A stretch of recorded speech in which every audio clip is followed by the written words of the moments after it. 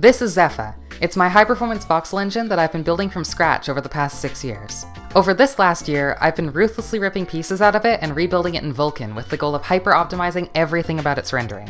In my last video, we discussed the basics of voxel meshing and how computers can turn infinite grids of block data into geometry that can be rendered by the GPU. We went over several techniques to optimize the contents of a voxel mesh, including face occlusion, greedy meshing, and level of detail, as well as methods to reduce the amount of geometry the GPU needs to process, such as backface culling. I'll assume you're already familiar with these topics, so if not, definitely check out that one first. But what if it were possible to improve performance without making a single change to our meshes? To cut down the work the GPU needs to do to interpret our instructions to the absolute minimum and give it more time to do the work we actually care about? That's the topic of today's video, speaking the GPU's language. Let's get into it. Let's start by getting a baseline understanding of how your GPU interprets instructions, because it's far from straightforward. Your GPU and the rest of your computer are very separate beasts. The main guts of your rig, your motherboard, CPU, and RAM are tightly coupled. They're all wired together into one larger system where each piece can communicate with the other as though they were one single unit. The GPU is not so. In fact, you can think about the GPU as if it were its own separate mini-computer, whose sole purpose is taking data points passed into it and turning them into pixels on your screen.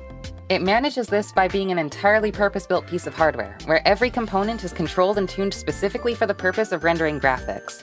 It has its own RAM, called VRAM, its own parallelized processors, and its own language which it uses to compute the operations it performs, which is how it's able to process hundreds of millions of triangles per second.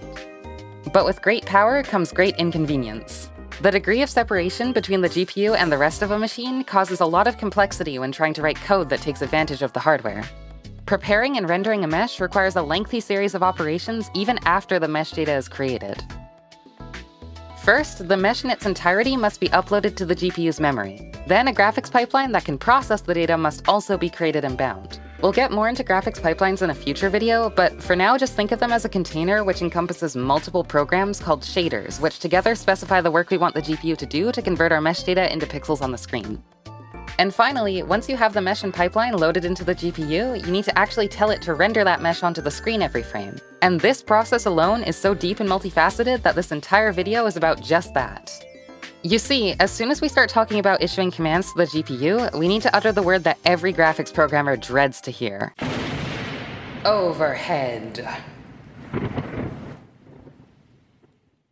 Overhead, as far as graphics programming goes, refers to any unnecessary time spent by the GPU either waiting for or processing our instructions. The GPU is easily the most powerful component of your computer, and it's capable of processing millions of raw data points per second into pixels on your screen. And every moment it has to spend interpreting our instructions, or worse, waiting for them to arrive, is thousands of tris down the drain. The GPU runs on a completely different clock cycle than the rest of your machine, and in many cases, it can process information much faster than the CPU can deliver it. For example, if instead of keeping your meshes on the GPU, you stored all of them on the CPU and sent them to the GPU every frame, your performance would plummet as the GPU wasted most of its cycles just waiting for the CPU to send it the mesh data. I would know, as I accidentally did this myself in OpenGL about a year ago because I miswrote some instructions, and it brought my performance from over 300 FPS down to 20. Spending days debugging that issue was the straw that finally broke the camel's back and convinced me to swap to Vulkan, but I digress. This is actually why meshes exist in the first place. Back in the dark era of the early 2000s, GPUs worked exclusively in immediate mode, which meant that every single point of every single tri on the screen had to be independently issued from the CPU, meaning that the GPU could only work as fast as the CPU could tell it what to do. Nowadays, we batch thousands of tris into single meshes, which we let live on the GPU at all times. So the only information the GPU has to receive to draw them is the location of the data, as well as any extra information like positioning and lighting that we want to send with it. But nowadays, even that's too slow for our modern GPUs. They can render thousands of triangles in the time it takes our CPU to tell it to draw a single mesh, meaning that even now we're still in an arms race to provide the GPU information quickly enough that it can run at speed. Overhead doesn't only exist as a product of the GPU waiting for instructions, though. It can rear its ugly head even if we provide the GPU enough draw calls to fully saturate its queue. This is because each draw call is far from free. Each time the GPU processes a draw call, there's a certain amount of computation that must be done to set up the pipeline to render a new mesh, regardless of its size. And that's not even counting the cost of binding the memory containing the mesh data, which while technically its own task, almost always accompanies a draw call in practice. This work often represents a measurable chunk of the time it takes the GPU to draw a mesh's geometry, and is another reason why programmers try to block as much data into a single mesh as possible. But what if there was a way to group multiple instructions into one, to cut down on the wasted time on both the CPU and GPU sending and receiving information, and free them up to spend their time on the work we actually care about? Enter instancing. In its barest form, a draw call directs the GPU to render one mesh one time on the screen. It's basically just a single direction to tell your GPU to load all the memory related to your mesh, read through all of its tris, and render them in accordance to your shader pipeline. But what if you want to render multiple copies of a single model, like an entity or a particle? An instanced render call is basically the same as a regular render call, but you include an instance count parameter, which tells the GPU how many copies of the mesh it should render at once. It's a foundational rendering technique and has been around for decades. Rendering the same mesh multiple times means it doesn't have to unload and reload any mesh data, reset the graphics pipeline, or even evict the model's data from its cache. Rendering multiple copies of the same mesh using instancing is likely the most efficient way you'll ever render a mesh on the GPU. But if the mesh data is the same for each draw call, the meshes just end up in the same exact spot, and the scene looks no different than if it was just rendered once. But remember how we talked about passing extra data to the GPU besides our meshes? That's how we can change that. This additional data goes by many names. Uniforms in OpenGL, push constants, or SSBOs in Vulkan. The actual mechanism doesn't really matter. The point is that all graphics APIs allow extra information to be passed into the GPU to be read by your code, such as the position where a mesh should be rendered. That said, this information can only be set before or after a draw call, not during. Which means that if you execute an instance draw call that draws several copies of a mesh, you can't change the position of each one by altering the data mid-draw. But what you can do is send an array of positions for each mesh, and then find the proper position for each copy of it as it gets drawn.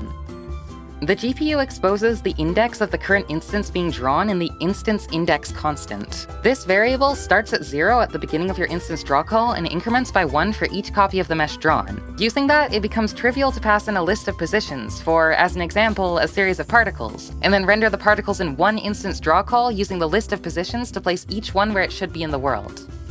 You're not limited to just passing in positions either. So long as you have the memory on the GPU to write the data, you can pass in any arbitrary data structure. Position, rotation, scale, blend color, the only limit's your imagination.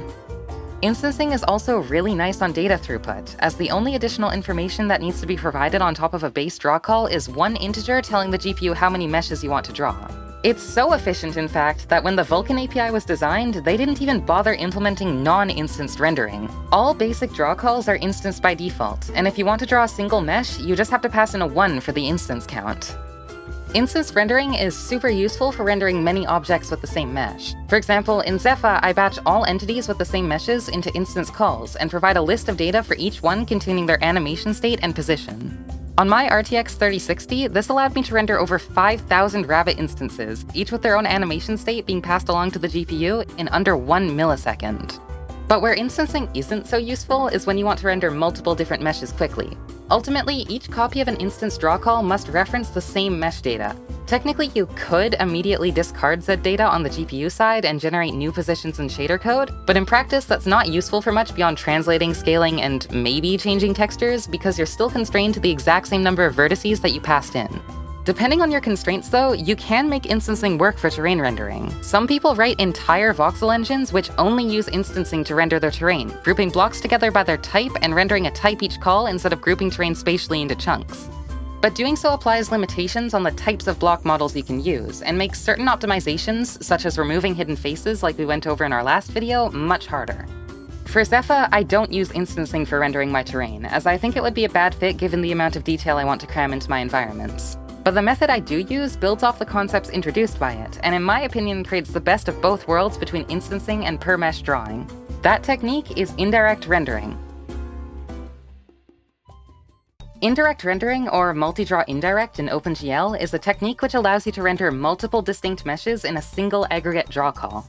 In some ways, indirect rendering is a more advanced form of instancing, you still bind your textures, geometry, and additional data once at the beginning, and then dispatch a single call that renders multiple meshes. But where indirect rendering differs is that instead of simply including a count variable, which causes the GPU to draw the same mesh multiple times, indirect rendering can instead render as many different meshes as you want, so long as they all exist in the same memory buffer.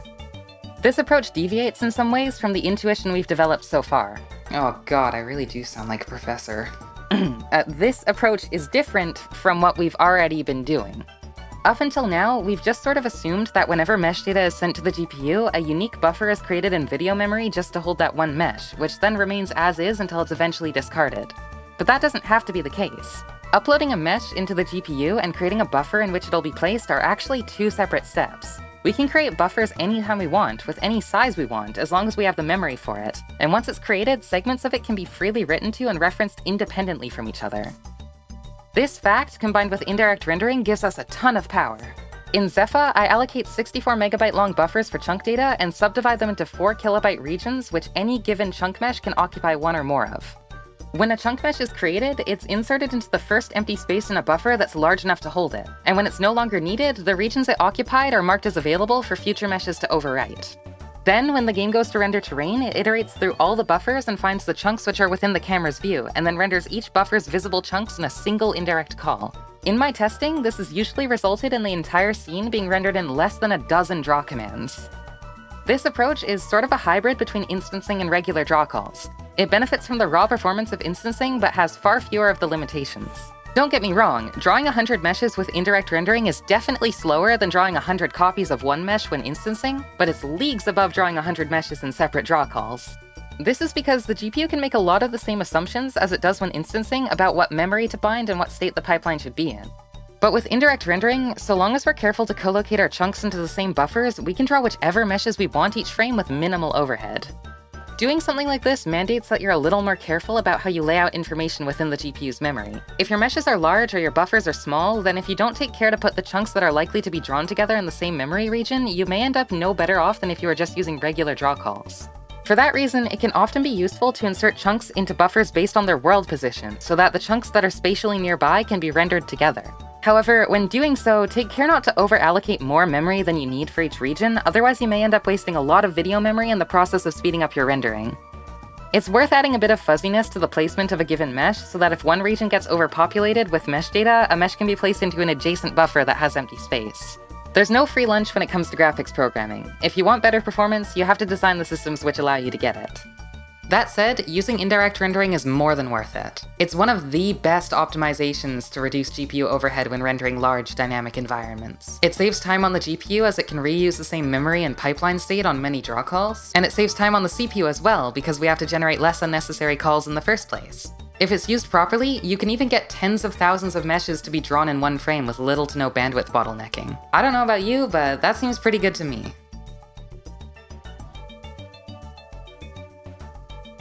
In part 1 of this series, we discussed optimizing voxel meshes to reduce unnecessary geometry. And in this part, we talked about how to speak the GPU's language to reduce the overhead of rendering thousands of meshes. So what's next? In order to fully take advantage of an indirect rendering system, you need to be able to make buffers large enough to hold lots of different chunk meshes. This poses a problem for traditional meshes because even if we optimize them to contain the minimum amount of geometry, they can end up still being quite large due to the sheer amount of quads needed to render a complex voxel scene, and sizing your buffers around them can use a massive amount of video memory. But what if there is a way to get around that cost? To pull out all the repeated data that exists in every copy of a dirt block or anything else, and only encode the information that changes per face in the mesh? Well, there is a way, and I should know because I've done it. In Zepha, my meshes are so small that I can fit over 3,000 of them into a single 64 megabyte buffer. On average, that means that each of my meshes is less than 21 kilobytes in length, despite each of them spanning a 32 by 32 by 32 block area. If each vertex took up 32 bytes of memory, that would mean that on average, my chunk meshes have less than 200 visible faces. But that's far from the truth. Chunk meshes in Zepha regularly have tens of thousands of vertices in them. So how is it possible to store so much data in such little space? You better believe I have a crazy answer for you, but that's the topic of the next video. Roll the credits! Hey, remember how I said, oh, look at me, I split my video into three so then you wouldn't have to wait over half a year to remember I exist again? Yeah, uh, oops. Turns out I'm allergic to free time, and since my last video, I graduated from university with a bachelor's in computer science, went to PAX, got a year's worth of investment capital for a game prototype my friend and I made, and quit my day job to work on it full time. So, yeah, it's it's been a lot. That said, now that I finally sat down to make this video, it only took about a week to put it together. So, no promises, but hopefully it won't take quite so long to get the next one out. And hey, if my predictions are correct, you might be seeing something unexpected very soon. So if you're excited to see the next video in the voxel meshing series, or whatever other nonsense I've been cooking up, please subscribe to the channel so you'll see when I finally post. Thank you so much to all the folks who continue to support me through my long bouts of silence on Patreon, Discord, YouTube, and Twitch.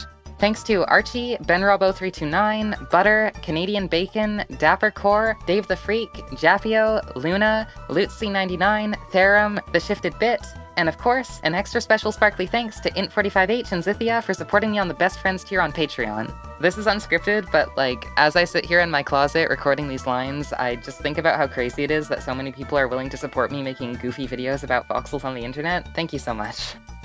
Supporters of the channel get early access to videos, see sneak peeks of new scripts and writings, and I'm starting to give early access to blog posts on my new website as well. You'll also get a cool icon on the Discord server, as well as whatever platform you choose to support on. It's been really cool watching the channel grow over the past year. Despite my infrequent uploads, we've somehow doubled the subscriber count from my last video, which means I now have this stupid 2 to the 11 plaque that never even made it into a video. But honestly though, all of your support has been crazy, and I've absolutely loved reading every comment I've gotten. They keep me going, and fill my ego to technically dangerous levels, but oh well. I try to read and reply to everyone, so if you have a thought or an opinion, or just hate the look in my face, leave a comment, and I'll try to get back to you. Other than that though, that's all I have, so thanks for watching, and I'll see you next time.